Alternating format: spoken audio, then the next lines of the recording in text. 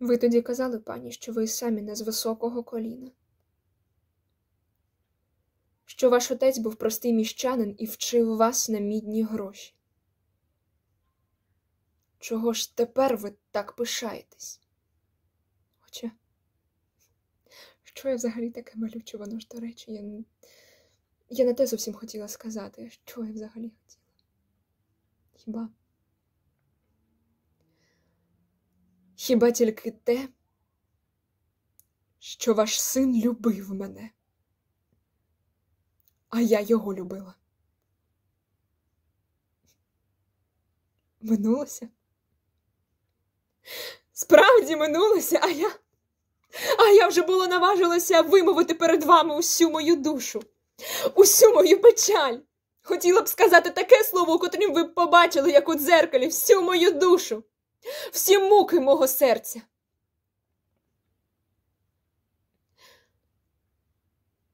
Мертвого з гроба не вертають?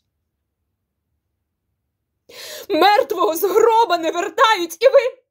І ви й тоді так спокійно б казали цю приказку, коли б стояли біля труни свого єдиного сина.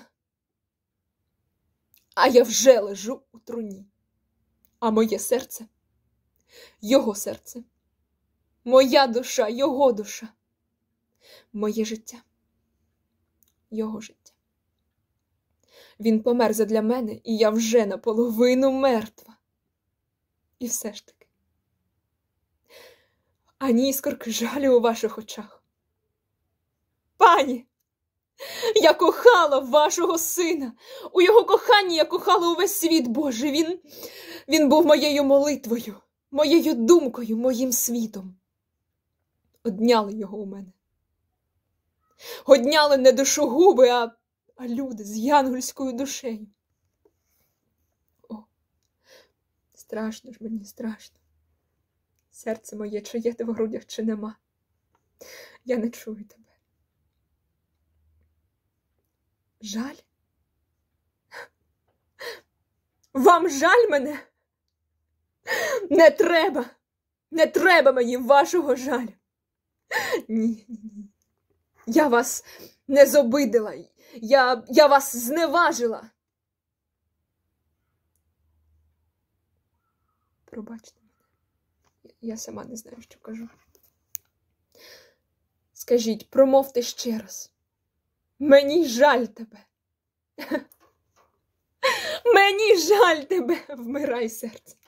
Сліпніть очі, глухніть мої вуха, це не материна мова.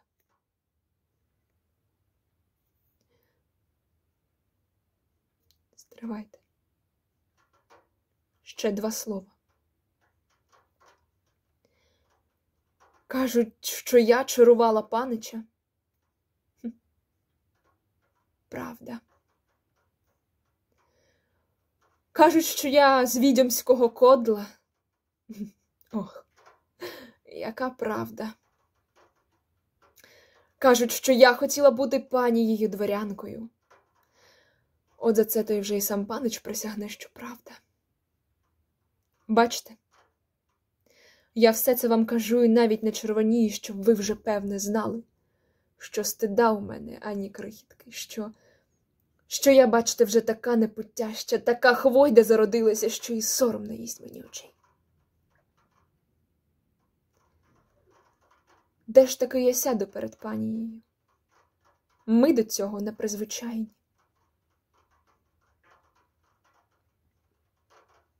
Нічого.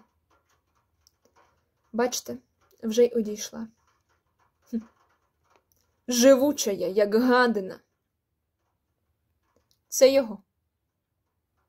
Паничів перстень. Хотіла б було б шпирнути його куди-небудь та пошкодувала, що він золотий, а не ж боялася, що як прийдете грабувати, от тоді то й сорому було б занадто. І я сама принесла. Нате. Отож всієї розмови. Отож всієї поради. Пора ж й честь знати. Самі мене виганяєте, а тепер зупинили? Здається, я все сказала.